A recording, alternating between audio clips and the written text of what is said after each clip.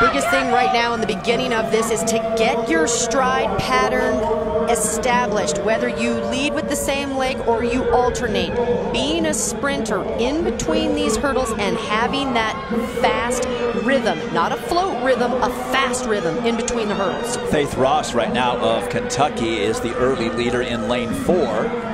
She chops though on number five. It always hurts her momentum. Now you've got to push through this far turn.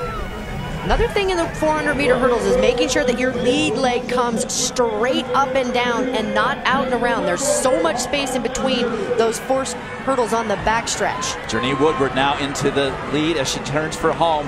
Hurdle number nine clean for Woodward. It's being chased by Brittany Humphrey. How 10 goes is what matters. It's going to be 1-2 for LSU. Woodward is going to hold off her teammate. And third is going to be Madeline Young. It's a sweep for the Tigers. Wow. Woodward 56-77. That is a new lifetime best for her. So just like A&M did in the men's race, but they were 1, 2, 6, and 7.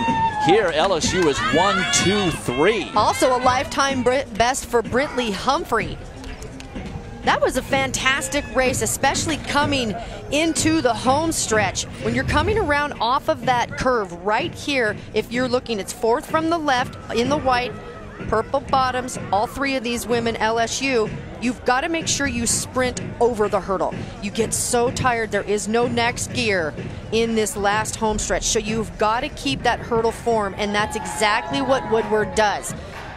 Woo.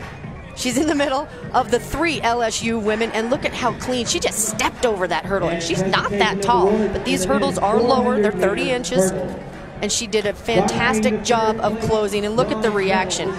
Personal and lifetime best for both of these women.